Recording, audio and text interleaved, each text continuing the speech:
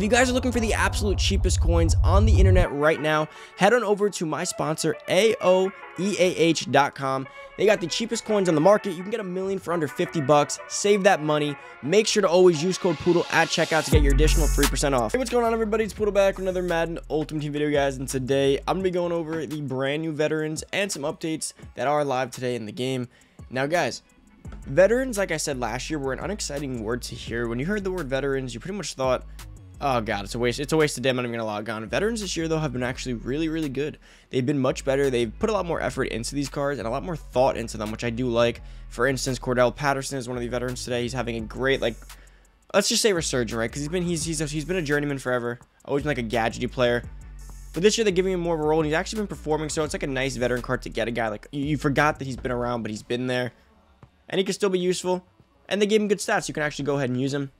And before we get into the video, if you're new to the channel, hit that subscribe button, turn the noty bell, give this video a big thumbs up as always, guys. And of course, if you guys want to go pick up any of the veterans players, typically I'd recommend buying them, but if you don't want to go ahead and buy them, you can always use the training reroll, which I don't actually recommend. Now, if you guys see here, you guys see there's the uh, the week four team of the week early bird, 24 hour special still going live. If you guys still want to go do that, if you do this, you do get an 81 to 88 overall player from week four, and you get your choice of one of them. So go ahead and pretty much just complete the set. Well, help complete the set. It's five bucks, really like 450 if you have the access. So just take that as you will. Let's head on over. Let's go check out some of the veterans. Let's go check out what we have in store, what is live, what is useful right now, what can we actually use and add to a regular roster. Because that's kind of what you're looking at when you see these veterans and flashbacks. You kind of look at them, you're like, what's theme team based, what's just filler, and what actually could be added to a, you know, a roster. What could what player could make an actual team, right? That's kind of what we're looking for. So we got Ryan Fitzpatrick, uh, right here is the quarterback that was released today for the Washington football team. Now, guys, one of the benefits of Ryan Fitzpatrick is that he does have nine teams, I believe, that he can be equipped to. So he's going to be one of the best theme team quarterbacks in the game right now, more than likely. Not like, again, if you have a team with like the best quarterback, Rodgers, like obviously you're not using him over him, which he wasn't on the Packers anyways, but at least I don't think. Who knows with him? But point is, if you're running a theme team right now, like Washington football team, Ryan Fitzpatrick may be one of the best options. Jets, he may be one of the best options. Dolphins got Marino, but like the point is, if you can't afford a Marino Diamond Master, Ryan Fitzpatrick could make a lot of theme teams and really be serviceable, although I believe he does not get Hot Rod Master, which just kind of suck. But 78 speed is good, good enough. He has 90 throw power, 87 short, 90 medium, 87 deep, 87 throw under pressure, 88 throw on the run, 84 play action. And he gets some other stuff. 75 agility is decent, 80 jumping, 80 carrying, 78 trucking is actually not horrible. It's kind of funny the game. The 80 break sack, but yeah, overall, guys, if you guys are running any kind of theme team and you don't have a quarterback, I know there's some teams that have no quarterbacks, right? Like not one really serviceable one. And you just take a look because Ryan Fitzpatrick may have played for that team. So he could be useful in a lot of different scenarios. Next, you have Robert Quinn, outside linebacker. Uh, he's on the Bears in this one right here. Now, Robert Quinn, 85 speed, 89 excel is really, really good, actually. That is not a bad card at all. That's good speed for an outside linebacker. And he gets 88 strength, 80 tackle, 87 play rec, 90 block shed, 90 power move, guys. This is one of the best outside linebackers in the game. Now, in terms of best, what I mean by that is that he's all threshold with speed. So when you're all threshold speed, you're gonna be good. Like they dropped a lot of, lot of linebackers this year that have had 85 speed and stuff, but only one power move or block shed above 90, or they're both high 80. He's a double threshold block shed and power move guy at six foot four with good strength, good tackle, and great speed and excel. Honestly, guys, if I was you guys, Robert Quinn would not be a bad budgety option at the outside linebacker spot. Not budgety, but he's going to be cheaper than any of the meta ones, right? Which isn't bad at all.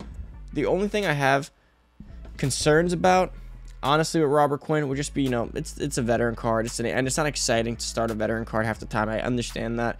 But for the price and the stats, Robert Quinn is not bad and will be replaced in the near future, possibly. But that's fine because veteran cards have this decent 80 to 150k value that like they just stay within, so you can always just sell them back.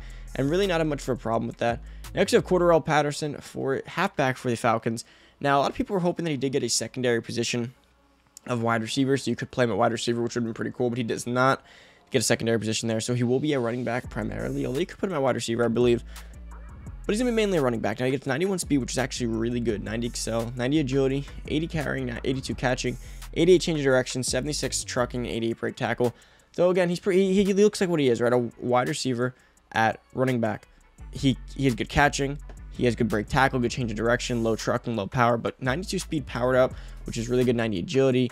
He gets high jumping, 88 powered up. 90 ball carrier vision, 90 juke. Card's gonna be really good. Even as a third down back, he's probably one of the best third down backs in the game, especially for the price. He's not bad. If you guys need a receiving back that can come out of the backfield and run some routes for you, it's pretty good. Now, I wish his medium route running and deep route running were a bit better, considering he's actually a wide receiver. Had they given him like, you know, high 80 or even low 90 medium route running or something like that, that would have been pretty crazy. Or at least all in the 80s, right? Cordarrelle Patterson, another good card today. So far, all these cards have been pretty good. I mean, Fitzpatrick's probably the worst of the bunch, and he's really not even bad. He does have some uses. Next, we have Jared Cook, who's another really good one. If you guys know Jared Cook, he's been around Madden forever. He's always had those low-key, like, great speed cards. He has an 89 speed here, which is pretty crazy. Powered up, he'll have a 90 speed at tight end. For a veteran card, that's pretty unheard of if you guys have been playing Madden for the last few years. You know, veterans have not been given this love quite ever. 88 catching, 88 catching traffic, 90 spec, 86 short, 88 medium. Now the only caveat, a caveat I have with Jared Cook would be that he does not get the 90 medium route running. Although if you have a strat card on him and you do power him up, he will get it. But that's about the only problem I do have with this Jared Cook card is that he's not going to get the medium route running 90 threshold. But other than that, he gets 90 speed. Kind of like if you, if okay, if you, this is like a great example. If you run Pitts, you could replace him with Jared Cook because Pitts doesn't get the route running threshold either, but he's faster than Pitts by a decent amount and he can catch much better, right? Behind the card, he has 81 agility, which is really good, 90 stiff arm, 87 juke, 88 spin. He's great with the ball in his hands. He's, he's a much better, he's an upgrade over Pitts. That's, that's what it comes down to. If you have Pitts on the team, you can easily replace him with Jared Cook and feel pretty okay about it. And then, guys, we do have the Jason McCourty quarterback as the last one. Now, he's actually, again, another good card. 91 speed at cornerback. Once you see 91 speed, you know he gets 92 speed. That's a good speed. That's a usable speed, right? And moving on from there, you do go ahead and see that he's 90 excel, which is really good. 91 agility, which is really good. 88 jumping is good. 87 player, 92 man. 88 zone, 85 press. Again, if you power him up and you put a strat card, like a lockdown strat, uh, strat card on him, he will get 90 zone threshold, 90 man threshold at 93 and a 92 speed. Not to mention he's 5'11", which isn't horrible.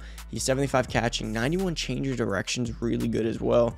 He also goes ahead, he gets 70 block shed and 67 hit power, which again, serviceable. It's not like a typical, it's like a Deion Sanders card or one of those soft corners that are really tiny with the 50 block shed and the 50 hit power. He has a little, little bit of a little bit of grit to him in the run game and, you know, making some hits here. So he's not bad at all. He's actually another really good card. Now, who of these guys are serviceable, right? Who can make an actual squad, in my opinion? Obviously, Robert Quinn can make a squad, like a, like like a good squad, or Robert Quinn can make a squad. McCourty could be probably nickel corner, and I think Jared Cook can easily be your starting tight end, if not your backup, because not everyone can afford Waller. Not everyone's level 50 to get Kittle. I think J I think um, Jared Cook could easily start for a lot of teams, and if not, just be the backup. And that's a like if you run a mesh play right and you have Kittle or Waller going out, you run him on the drag all day, and you just that'll be your check down. He has good change of direction, good juke. He can turn it upfield to make a play. And then as we move on down, guys, if I had to rank them, I would say in last place, probably Ryan Fitzpatrick, just because it's a quarterback and there's so many good quarterbacks in this game. Uh, coming in fourth, I'd probably put Cordarrelle Patterson. Now he's good, but obviously, we're not starting Cordarrelle Patterson over any of the halfbacks in the game because of weight and everything. The reason you would play next gen, right? Had he been able to be a wide receiver, maybe been up a little bit more. I think in third, you probably put McCourtney or McCourty because at the end of the day, he's good, but there's a lot of cornerbacks as well. And I think number two, you easily go with Jared Cook and one Robert Quinn. Robert Quinn's an all threshold, speedy outside pass rushing linebacker. Right? You can't you can't dispute that he's good. And then Jared Cook would have, if Jared Cook had 90 medium running, he may have been even higher than, uh, than Quinn, but he's good. But guys, that's about it for the video. Hopefully you guys did enjoy. If you're new to the channel, hit that subscribe button, turn that noty bell, give this video a big thumbs up as always. Thank you for watching. I'm out. Peace.